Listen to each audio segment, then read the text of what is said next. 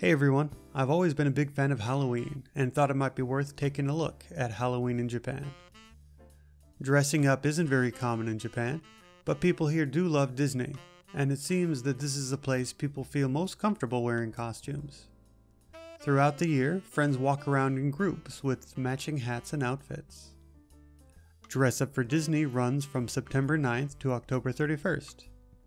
For this event, the site sets out four guidelines for guests to follow. There are some limitations on who you can dress up as. The site features a huge list, including basically every character from the big screen to the small screen. All the movie, cartoons, and shows that you can think of are there, including video game characters like those featured in Kingdom Hearts. I was a little surprised to see the Star Wars universe included, with no mention of Marvel characters though. You can even dress up as a Disney Resort cast member as long as you're under the age of 11. There are some restrictions on what type of costumes are allowed in the park. You are not allowed to wear anything that covers your face and hides your facial features, so masks and face paint are out.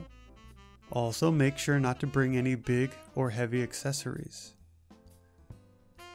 The third guideline suggests guests refrain from wearing a dress with a long train that could trip you up, and also avoid anything too revealing like a swimsuit or full body tights. And the fourth and final suggestion is a reminder to be mindful of others. They suggest that changing rooms may require a long wait and please be careful not to interfere with other guests while taking photos or to take up too much space as a group.